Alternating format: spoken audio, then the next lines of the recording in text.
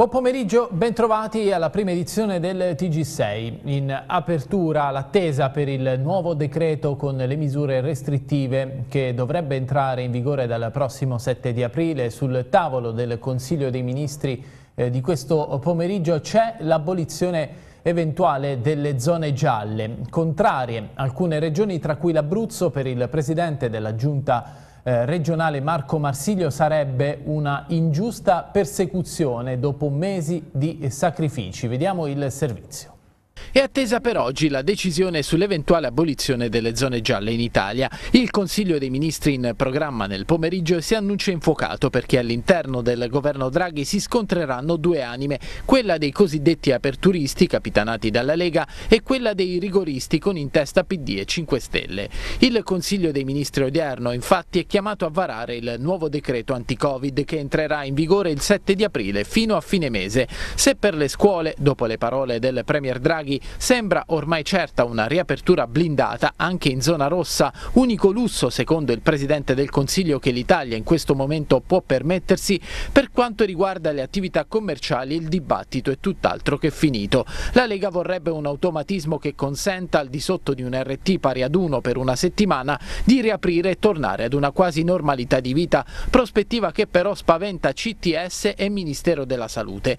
Le regioni spingono per allentare le restrizioni sulla base dei dati e a questo partito si iscrive il presidente della giunta regionale abruzzese Marco Marsiglio, secondo il quale sarebbe una vera e propria persecuzione per l'Abruzzo restare confinato in zona arancione nonostante i dati da zona gialla.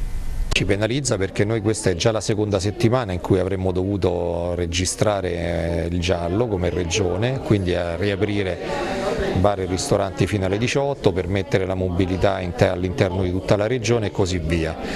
Non è accaduto, adesso che c'è l'intenzione dopo Pasqua, quando si poteva riaprire, di continuare a tenere chiuso per altre quattro settimane lo ritengo una ingiusta persecuzione nei confronti di alcune categorie che per pregiudizio devono restare chiuse.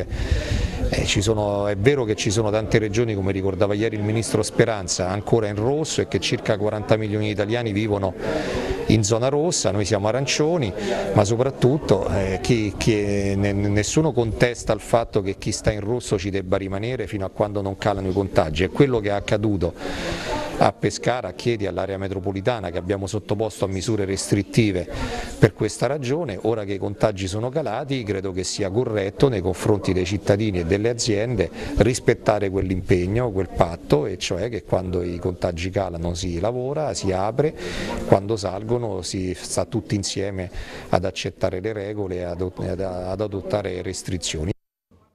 Adesso andiamo a Montesilvano, al Pala di Martin si sta portando avanti la campagna vaccinale che coinvolge i disabili e i superfragili per il eh, neo assessore del eh, comune Riverasco eh, Santa Venere. Questa è una priorità dell'amministrazione. Vediamo il servizio di Paolo Renzetti.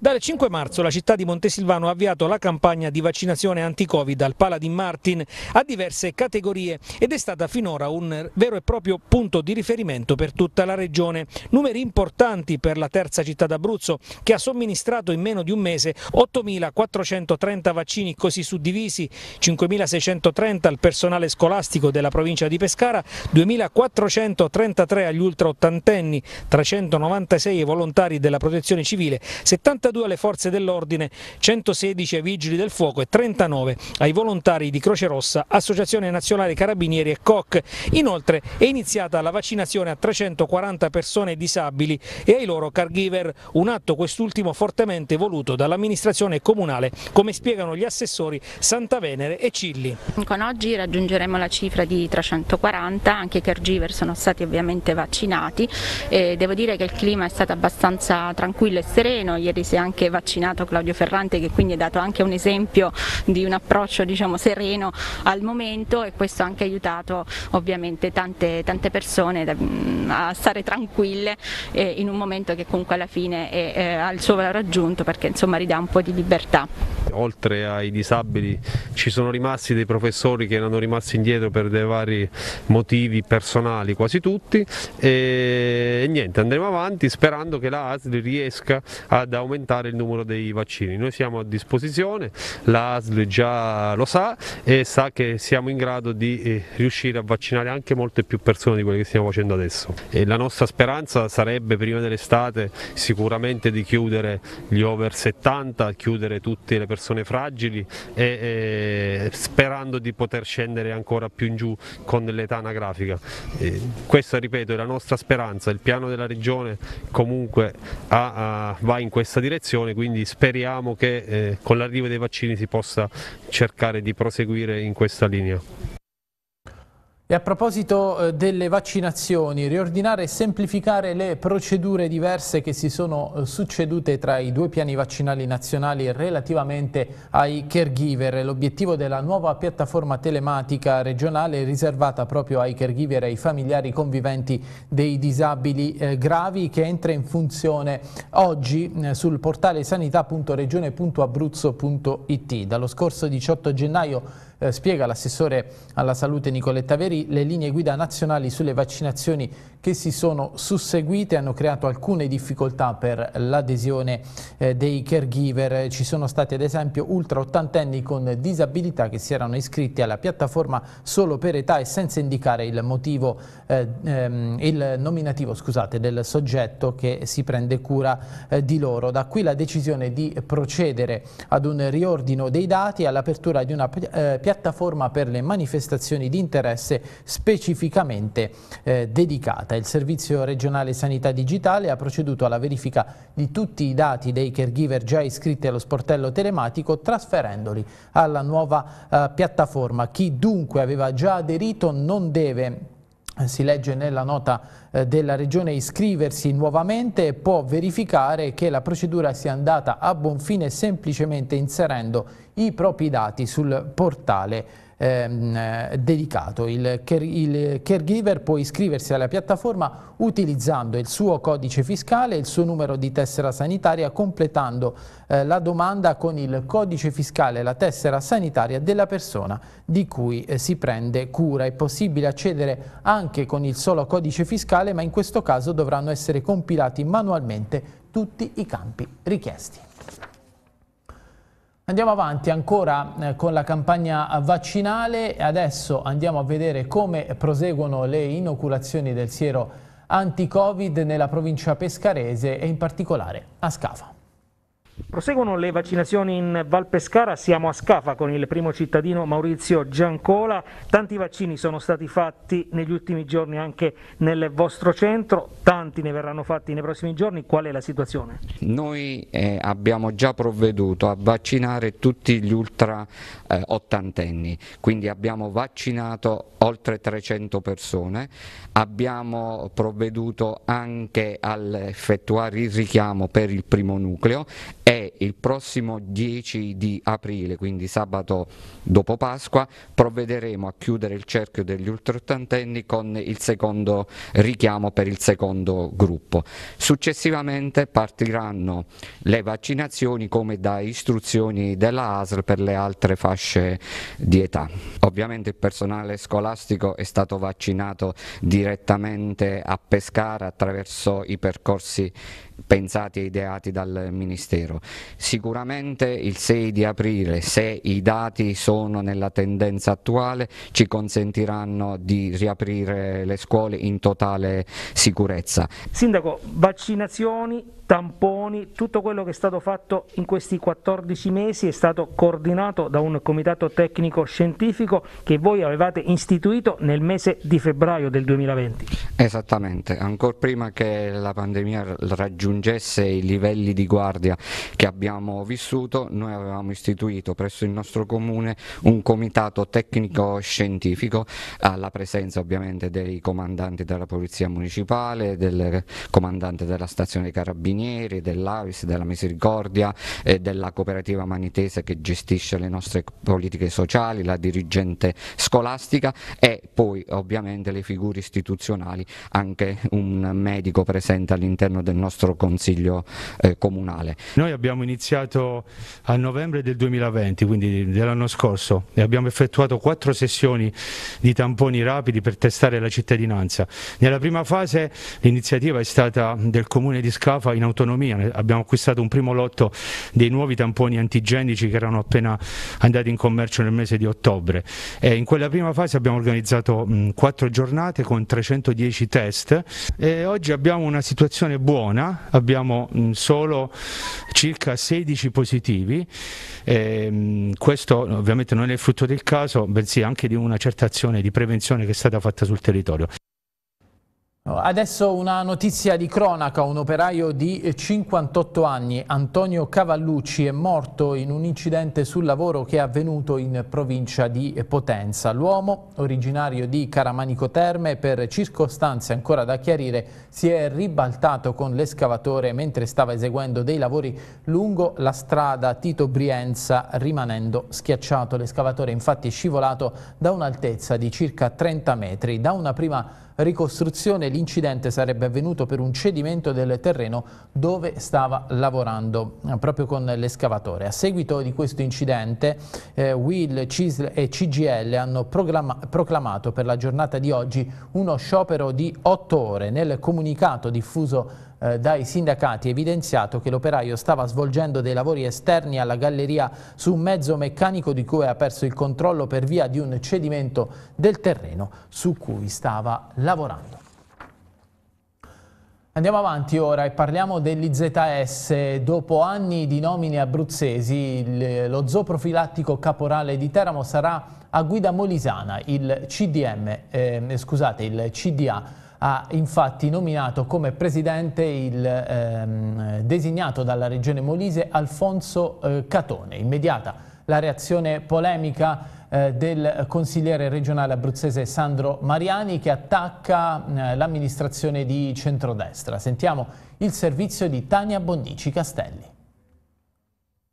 Il CDA dell'Istituto Zooprofilattico dell'Abruzzo e del Molise Giuseppe Caporale ha designato come presidente l'avvocato Alfonso Catone.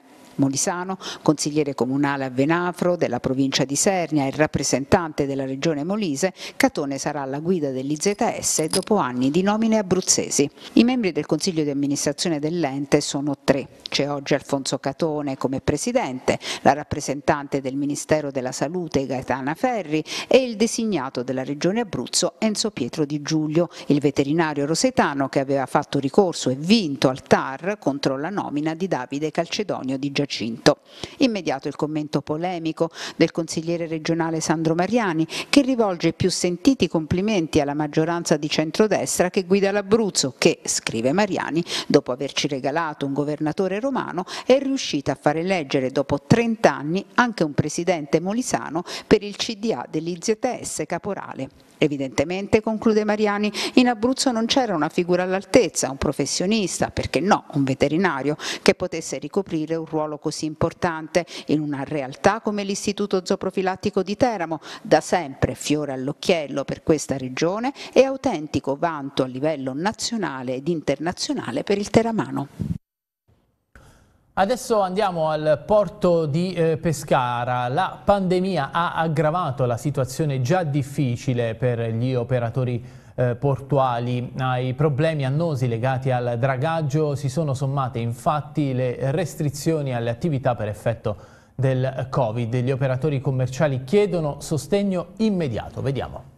Il porto commerciale di Pescara sta morendo, basti pensare che l'ultima nave cisterna è attraccata nel 2016, una situazione paradossale che ha messo in ginocchio le attività collegate allo scalo portuale pescarese che per ripartire avrebbe bisogno di un dragaggio urgente e dei lavori relativi al piano regolatore portuale. E intanto le ditte danneggiate dal fermo delle attività aspettano ancora il 50% dei ristori previsti dalla legge regionale 44 del 2016. Anche le le opere previste dal piano regolatore non porteranno alla ripresa del traffico merci o passeggeri del porto di Pescara perché qui l'unica cosa che va fatta con estrema urgenza è un dragaggio perché le banchine commerciali, la banchina riva la banchina levante attualmente avranno sì e no un pescaggio di un metro, un metro e mezzo. eh, quindi capiamo benissimo che è impossibile l'ingresso e l'uscita da qualsiasi unità eh, navale destinata o al traffico merci o al traffico passeggeri. settimane scorse si era paventato il ritorno di un collegamento con la Croazia, ma in questo stato di cose, in questa situazione, è possibile parlare di nuovo collegamento con l'altra sponda dell'Adriatico? No, non ci sono assolutamente né le condizioni logistiche e dobbiamo considerare anche che eh, istituire un collegamento passeggeri comporta tutta una serie di procedure dal punto di vista della security che qui a Pescara andrebbero rifatte eh, da zero anche perché adesso c'è la competenza dell'autorità di sistema portuale eh, che fa capo ad Ancona, l'autorità di sistema portuale del mare Adriatico centrale. E quindi dovremmo anche sperare in una rapida eh, attuazione di queste procedure e sono i piani di sicurezza che vanno rifatti, quindi assolutamente non è proprio pensabile che quest'estate eh, si possano riprendere i collegamenti passeggeri per l'altra la sponda dell'Adriatico o per qualsiasi altra destinazione internazionale.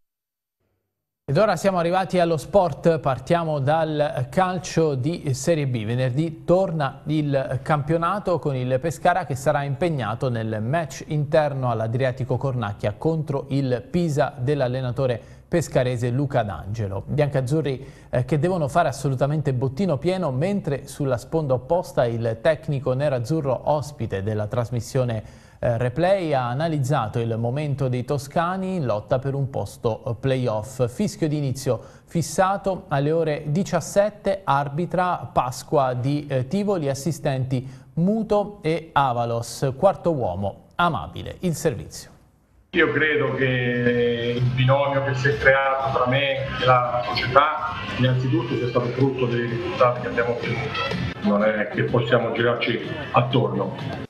Ovviamente il, la, la, conoscenza reciproca tra me, il direttore generale, il direttore sportivo e il presidente è, è cresciuta nel, eh, nel, tempo e nei momenti di difficoltà loro hanno visto probabilmente, questo andrebbe chiesto più a loro che a me, che il, il, lavoro che veniva svolto durante la settimana era sempre molto propositivo, a volte poi i risultati possono venire o meno, ma ho sempre sentito la classica, eh, come si dice, fiducia eh, incondizionata da parte della, della società. Sarà una partita eh, dura, nel senso che il Pescara è ovvio che cercherà eh, il massimo risultato. Eh, anche noi però eh, faremo, faremo, lo stesso e vediamo alla fine chi, chi l'avrà vinta. Per quello che riguarda la classifica, eh, rispecchia abbastanza probabilmente delle, delle squadre pronosticate ai playoff per la vittoria finale del campionato, manca è un po' attardato il Frosinone e al posto del Frosinone probabilmente è entrato in Venezia, nel senso che eh, all'inizio stagione non si pensava che si potesse trovare in quella, in quella posizione di classifica. Però c'è tempo per recuperare. No. E noi l'anno scorso non siamo andati ai playoff eh, per la classifica Bursa con eh, Empoli e Frosinone, abbiamo fatto gli stessi punti, però eh, avevamo una classifica Bursa peggiore e siamo usciti. Quest'anno siamo, non siamo vicinissimi perché siamo a 5 punti, a 4 punti dal Chievo, con una partita da recuperare. Credo che la cosa migliore per noi sia quella di non stare troppo lì a guardare quelli che sono i risultati, ma giocare anche partita. Fare... Il Pescara, il Pescara è, è, è, è, Pescara, città, eh, mi sono sempre nel cuore, la mia famiglia vive a Pescara, mia moglie, mie figlie, mia mamma, mio fratello, tutti i parenti vivono a Pescara, appena posso torno immediatamente a casa, perciò Pescara è, è casa mia e per quello che riguarda eh, un giorno poter allenare il Pescara, io eh, non mi potrei eh, tirare indietro eh, in, in, futuro quando la mia avventura a Pisa sarà terminata, perché ripeto, il Pescara è, rimane sempre una società, a mio avviso, una piazza importantissima. Ora la Lega Pro, il vicepresidente di Lega Marcel Vulpis è intervenuto ieri sera nel corso della trasmissione Pro Teramo, ha parlato della probabile rimodulazione dei gironi e ha anche commentato le recenti esternazioni del presidente del Teramo Franco Iachini che aveva definito la sua squadra una banda di morti. Sentiamo. La riforma dei campionati chiaramente eh, parte dalla guida e dalle idee che avrà in tal senso il presidente Gabriele Gravina, a cui la Lega Pro già nel precedente mandato, pochi mesi prima della, delle nuove elezioni, quindi dell'ultima assemblea elettiva ordinaria, ha dato il mandato per eh, guidarci verso questa riforma che si attende da 60 anni e che si ritiene possa essere portata, non dico in tempi rapidi perché direi un'eresia, ma sicuramente nei tempi giusti. Credo che Gravina, il nostro Presidente, abbia la qualità, la visione di scenario e la forza per poter finalmente dire sono stato io il Presidente che ha fatto la riforma dei campionati e non del campionato, quindi non solo della Lega Pro ma dell'intero sistema, a 60 anni da questo mantra che gira evidentemente da... Eh, da questo periodo, cioè da 60 anni. Non è vero che non ci può essere una riforma dei gironi, c'è una commissione proprio solo su questo specifico tema, su un'idea di Francesco Ghirelli a cui stanno lavorando diversi presidenti o dirigenti dei club e appena questo tavolo avrà tirato fuori il documento finale sarà oggetto di una eh, valutazione da parte del Consiglio direttivo. Quindi intanto c'è una commissione che sta lavorando perché il prossimo anno i gironi siano ancora più belli, più interessanti di quelli che oggi eh, o comunque di un prodotto di campionato che stiamo vivendo oggi in questa stagione così difficile. L'obiettivo si parlava chiaramente... di estrazione a sorteggio anche dei gironi e corrisponde a verità? Ma io guarda, su questo io aspetto di vedere il documento che non ho ancora avuto, so perché ho incontrato il presidente del Palermo, Dario Mirri, che fa parte di questa commissione, che stanno lavorando anche qui per arrivare comunque a una riforma dei gironi con l'obiettivo di rendere questo campionato il più competitivo, bello e spettacolare possibile. Poi quali saranno le formule? Le vedremo da questo documento che, ti ripeto, non ho ricevuto ancora e che comunque sarà oggetto di una valutazione importante da parte del Consiglio direttivo. Mm, allora, ho capito il senso di scoramento e di dispiacere perché il presidente, lo dice il nome, è il presidente del club, quindi vorrebbe che, suo, eh, che, il che la sua squadra quantomeno pareggiasse se non vincesse ogni partita.